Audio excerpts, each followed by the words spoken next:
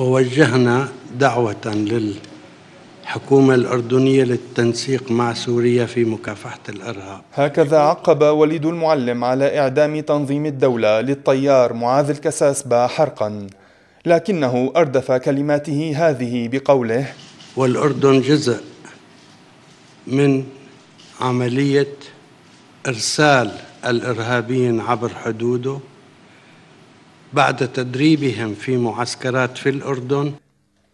لا يمكن لمحلل استراتيجي ولا لسياسي محنك أن يفهم كيف يطلب وزير خارجية نظام الأسد من دولة الأردن التعاون والتنسيق معه لمحاربة الإرهاب. وفي الوقت ذاته يتهمها بأنها تؤوي إرهابيين وتدربهم في معسكرات على أراضيها. هذا التناقض الذي أدلى به المعلم خلال مؤتمر صحفي مع وزير الخارجية البيلاروسي فلاديمير ماكي كان ضمن عدة تناقضات ظهرت في المؤتمر ذاته. ففي حديثه عن السيادة الوطنية قال المعلم أقول بكل وضوح نحن حريصون وندافع عن السيادة السورية. لا نسمح لأحد بخرق سيادتنا الوطنية. ولسنا بحاجة لقوات برية كي تدخل لتحارب داعش.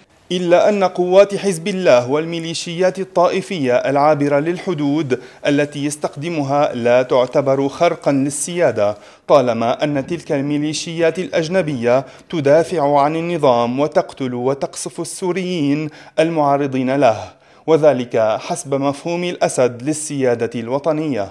ليس هذا فقط فالجانب الإنساني في سياسة الأسد لم يغب عن حديث المعلم حيث قال وفي أي منطقة محتاجة للمساعدات نبذل أقصى جهد لإدخال المساعدات إليها.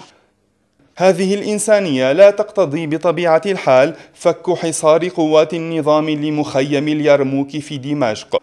والتي تواصل منع إدخال المساعدات إليه إلا ما ندر كما أنها لا تعني إيقافه للقصف العشوائي والمركز على الأحياء السكنية في الغوطة الشرقية المحاصرة أصلا من قبل قواته.